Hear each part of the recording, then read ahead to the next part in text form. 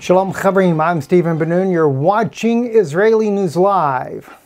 Good evening, friends. You're watching Fact News Network. Uh, this evening, we do have some very serious uh, news that is breaking. This, of course, is running live. Those of you that are watching the broadcast over on Israeli News Live, uh, you're catching the second-hand information here. Uh, we are actually live on Fact News Network. So uh, those of you that are joining us over here, we really appreciate you being here tonight. Uh, of course, NATO preparing to back Russia in a war, uh, excuse me, get that correct, NATO preparing to back Turkey in a war uh, against Russia. That's what it's looking like. And it's amid some new tensions there. We're going to be looking at that in just a moment here. But uh, you know, Erdogan tried to reach out to Russian President Vladimir Putin to calm the situation down. Putin taking the side of his military there. And, uh, but uh, we do have, let's see, I'm trying to find the right spot. Here we go, right here. This is what I wanted to show you. This is one of the reasons why I'm concerned about what NATO is doing. NATO, uh, and this is my good friend Renze over in Europe there that sent this to me. Sent this video footage here. This is NATO preparing uh, to go to deploy largest ever deployment. Now we know that the U.S. has been doing these drills for, for quite a few years now, uh, and it is obviously setting the stage for the Third World War. Uh, listening to this broadcast, listen or listen to this little uh, clip here, this one-minute clip of NATO and what they're saying about the allies in Europe and then just keep in mind, Turkey, a NATO member, could declare Article 5 at just about any time. Well, let's get some volume on this, Steve. I guess that would really help matters a lot, wouldn't it? Um, any rate there, you know, I'm going to be talking also to you guys tonight about a, a, product. Uh, I really owe a debt of gratitude to Leon. Uh, he was here with John Moore. And uh, so, Leon, if you happen to catch the broadcast, thank you uh, for telling me about uh, the EMP Shield. Uh, and Leon said you could become a distributor. We actually did become a distributor because uh, it's, it's something I do believe in. And I kept thinking that if you wanted to be able to survive an EMP attack, you'd have to, uh, to have an old vehicle like a diesel engine or something like that Had no clue, had no clue. I guess I've been living into the in the dark or something that there was actually a product you can buy and install in your car. Uh, I actually got two of them because we have two vehicles and I installed it on uh, my little truck and on the car. Uh, very simple, very easy to do, but I want to tell you guys about it tonight because it'll also, you'll get a discount. I didn't get a discount because I couldn't order it from myself at the time. Uh, but they'll actually help the ministry here as well. So I'll share that with you here at the end of this broadcast. Anyway, let's listen up this. Is the largest deployment of military personnel and equipment from the U.S. to Europe. Largest in more than 25 years. In 25 this years. National exercise will build strategic readiness and demonstrate our ability to rapidly deploy a large combat credible force to respond to any crisis. Once on the continent, U.S. forces will spread out across Europe to participate in various linked exercises. Defender Europe 20 is a whole-of-Europe exercise that will require the support of our allies and partners across the theater and help build our collective readiness and increase interoperability. Defender Europe 20 shows that NATO allies and partners stand stronger together and that the U.S. commitment to NATO is ironclad. Defender Europe 20 will conclude when all U.S.-based forces and equipment have successfully redeployed back to the United States. That's NATO talking about that there. Now, let's back up just for a moment here. I need to really show you some things that are going on. Uh, Russia and Turkey, the conflict in Syria escalates amid new troop deaths. That's Turkish troop deaths. Uh, the first report I saw that came out just a little while ago, there were nine, but that has now been up. Newsweek, covering this article here this afternoon as well, is saying that as many as uh, 33 Turkish soldiers were killed in airstrikes blamed on the Syrian government. Uh, so it's not being blamed directly on the Russian government as of yet, but you can only imagine Russia has been also striking Turkish armaments as well. But I think what they're trying to do, they're trying to allow Turkey to go to a direct war conflict with Syria, keeping Russia out of it and using NATO as the fear tactic to do this. But again, I need to clarify some things. I've told you guys I really, really, really believe President Vladimir Putin is playing the card with Prime Minister Netanyahu. They want Syria taken down. Plain and simple. Uh, they want this war to finish destabilizing all of Europe. You know, I, I even took guys, I even threw up here Albert Pike, right? Now, these are not prophecies of Albert Pike. This is just Albert Pike. He's the Freemason, Illuminati, part of the New World Order, but he spoke about the first two world wars. First World War must be brought about in order to permit the Illuminati to overthrow the power of the czars in Russia and make that country a fortress of atheistic communism. He wrote this before this ever happened, right? This is not prophecy. This is going by the playbook. Let me, let me blow this up big enough. I want to make sure you, sure you guys can see what Albert Pike had to say there, right?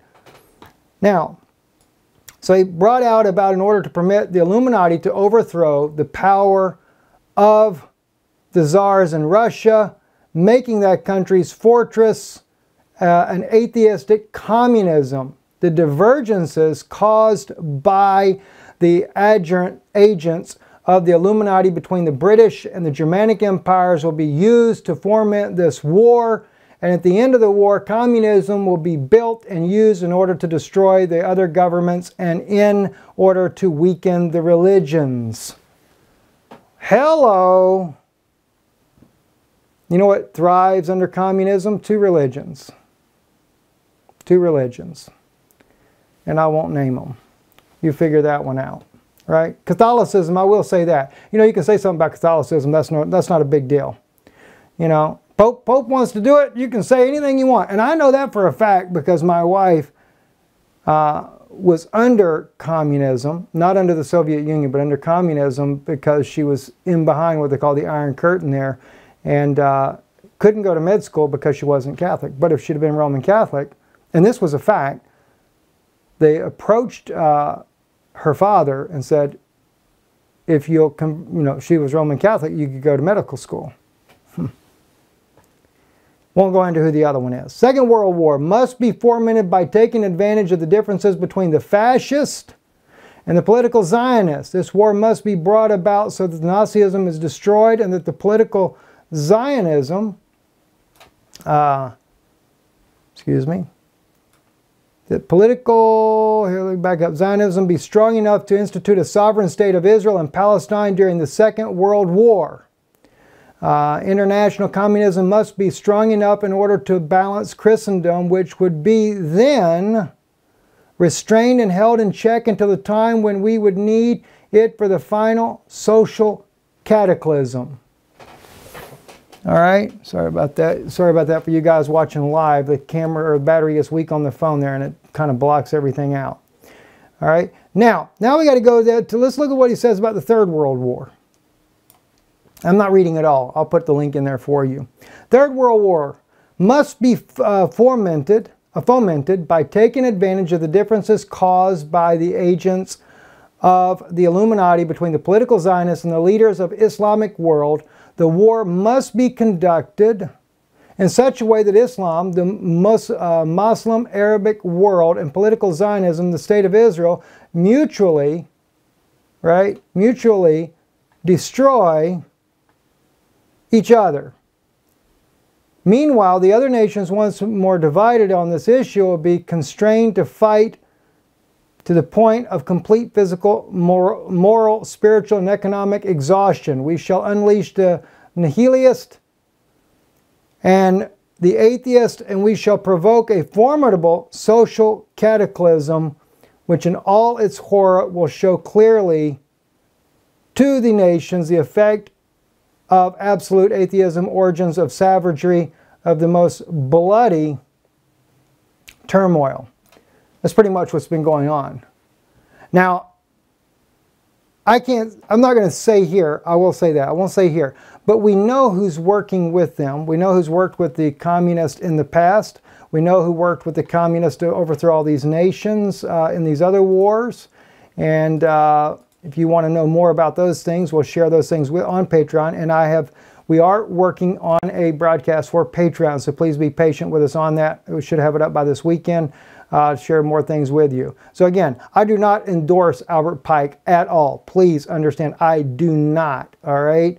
And these are not prophecies, these are plans, the plans that they had to do these things. So, anyway, uh, we're dealing with this situation right here. Now, let's just see. Nobody has done more than what I have done, and but at the same time, I don't. Let me just see what the president says here. I don't even know.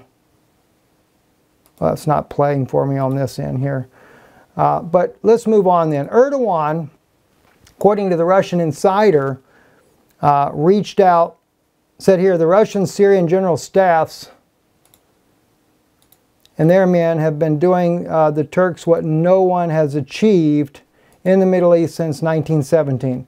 So the Sultan has called the Tsar three times this month, so far in January, once by telephone, twice uh, face-to-face -face meeting, and twice by telephone in December. Every time the telephone rings, it has a Kremlin communique doesn't fail to mention at the Turkish side's initiative. On the battlefields of northwest Syria in the initiative at the start of each day has been the Turkish side too, but at the end of the day, Russians have inflicted defeat. Not often in 500 years of communication between the Porte and the Kremlin has the subliminal messages been so clear. There, there is another, excuse me, subliminal message from the Kremlin.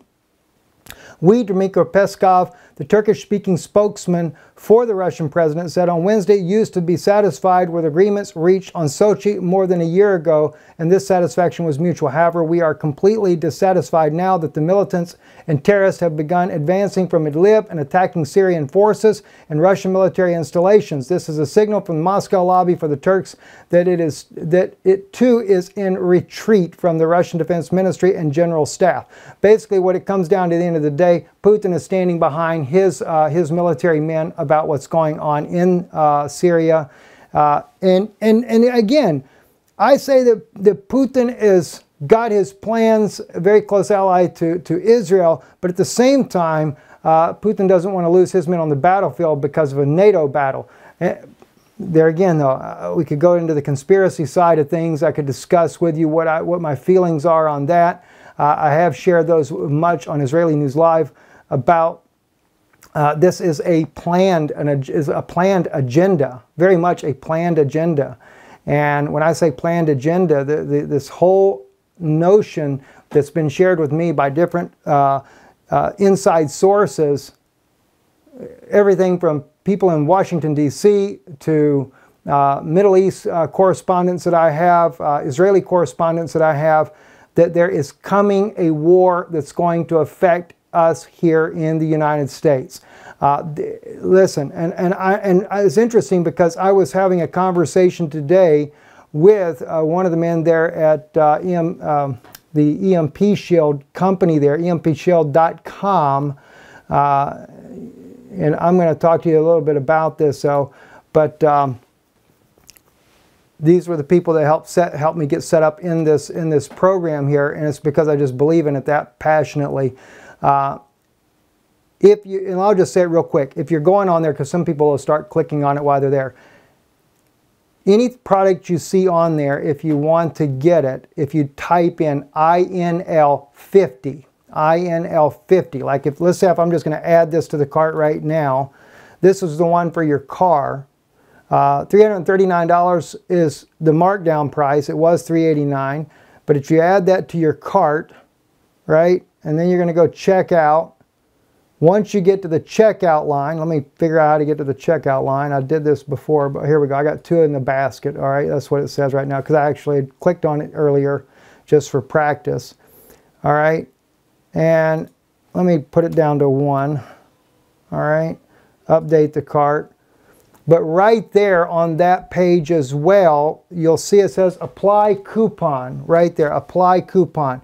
Just to the left is where you can apply it. I NL50 is that code. Now when I apply it, see right now, and I don't know how well you can see this, so I'll blow the, image, the screen up a little bit so you can see this better. All right. It's $339 right now, but if I apply the coupon, that price is going to change by $50. You're going to get a discount because you ordered it through Israeli News Live, and there it is.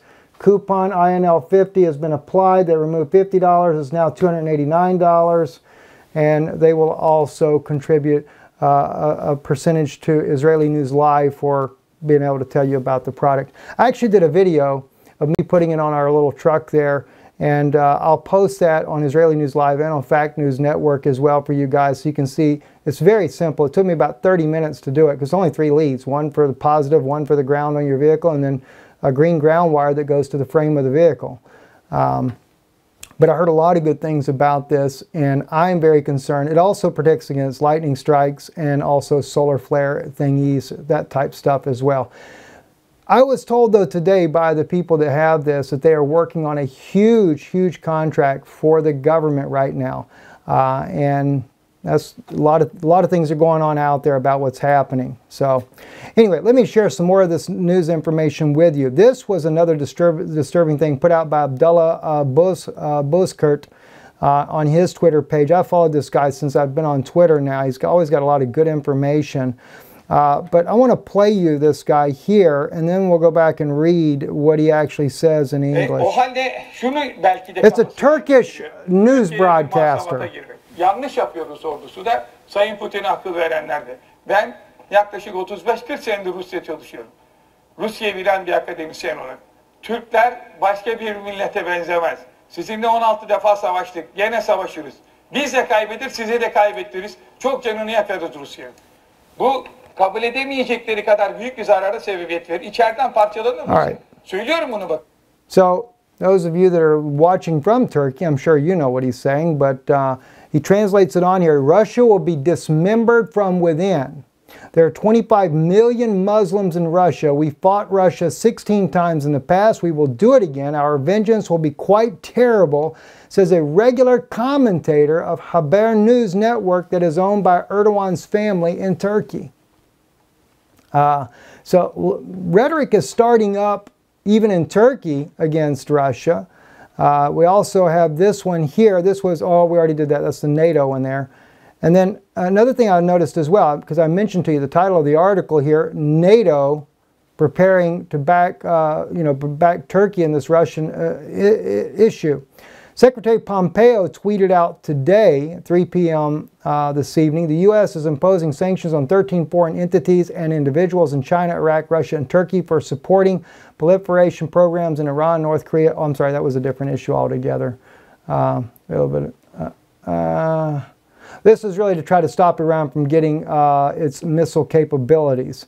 Uh, that's interesting, though, they mentioned Turkey in this. I wonder if the U.S. is going to play hardball on a battle. Well, no, they're not going to play hardball because they want Syria to go down.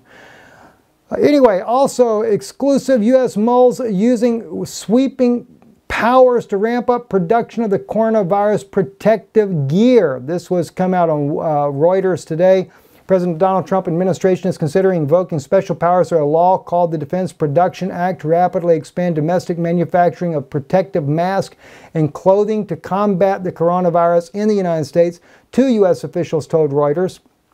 The use of the law passed by Congress in 1950 at the outskirts of the Korean War. Now, I, I do want to clarify something as well. And I thought people could read between the lines when we uh, broadcast on Israeli News Live yesterday, but let me just kind of clarify this for you. The coronavirus, it, it is a virus, but it is also, from what I have been told, it is a biological weapon. It was, in other words, it's, it's a man-made virus. That's what makes it a biological weapon. And it is being downplayed majorly and the coronavirus is only one of many man made evil things that we can see on the horizon that are coming. Is it for depopulation agenda? I don't know. My thought, well, it's just another one to add to the list. According to my source in the Middle East there, the death rate is not 2.3%, it's actually 15% of people that contract this alleged virus. And I still, like I said, it, it, it, acts like a virus, but it is a manufactured. So when I said the other day, speaking of it more from the standpoint of a virus, I'm also trying to be a little bit cautious in what I'm saying. Because when you begin to talk about this, uh, there are channels that are getting closed just for going against mainstream media idea about it. In fact, the President of the United States is also um, now dictating what can be spoken about on this. Let me see if it's here. Nope, I don't have it up there now. Uh, but uh, the President is also now instructed that it's actually under Mike, Mike Pence has instructed this, but I'm sure through the President of the United States as well, um, that no medical person can put out any information, do any kind of interviews without first being screened about what's going to be said about this. Uh, we shared with you the other day, the reason we shared about the, the vitamin C intravenously is because we also know that intravenous vitamin C also can fight um, how would you put it there? Toxic chemicals. That's one reason why I brought this to your attention as well. So I wanted to make sure I make that clear for you guys. I didn't just do this just to do it. I, I, brought this out for a reason. And I'm, I'm just, I don't want to get too deep into the debate. I want to make sure you're aware of some options that you might have that could help you. Um, and I think that, you know, it is wise decision to maybe have supplies stocked up in your home uh, for a couple of months in the event they were to go on a um, quarantine type of order. So just keep that in mind. Uh, I've been hearing some really bad things too about uh, a vaccine that was developed in China, but I'm not going to speak on that tonight because I don't know enough about it as of yet. But uh, we'll see what we can find out about this. I, I really, I'm telling you, friends, I, I, see New World Order written all over these things that are happening. Uh, everything from the wars to the viruses, and from what I understand, a lot of other bad things are coming our way. Uh, anyway, though, listen, I, I, do not want people to feel pressured over buying something because you guys know I am not a person to market anything. But uh, if you're like me, you've been concerned about an EMP strike if it happened how would that affect us? You know, just if you go there, I'll put a link to the website in there, empshield.com, uh, and they actually give us a link, empshield.com, INL50, but it just brings you to that blank page there, and then you have to kind of uh, you have to kind of go from there to do it. But the, the, the, the representative for them of EMP Shield also said to me, you got to be careful because there's a lot of advertisements on there. They said if you click away from the website looking at one of the promotions that talks about it, the videos, unless you come back, come back to the actual site and use your coupon code of INL50, you won't get the discount. Uh, that's very important. They said that you, you're aware of that. And so uh, pray about it if it's something you feel led to do. Uh, I know there might be women out there that are, feel a little un uncomfortable about getting something like that. How would I attach it to my car? You'd probably have to get a local mechanic or somebody to help you, but I don't think it'd be expensive to have it uh, uh, attached because as I put the video up uh, either this evening or tomorrow, I'll put a video how I put it on. It is very, very simple to attach to, to your vehicle. So at any rate, uh, just pray about that and, um, uh, and we'll just see how God leads. I hope we don't have an EMP attack, but uh, not just an EMP attack, even a nuclear strike, if you were in a distance of where that would affect you, it could also cause a lot of problems, a lot of issues. But anyway, blessings to you all. Thank you. Thank you for watching the broadcast this evening. I'm Stephen Ben-Nun. You're watching Fact News Network and INL. Good evening.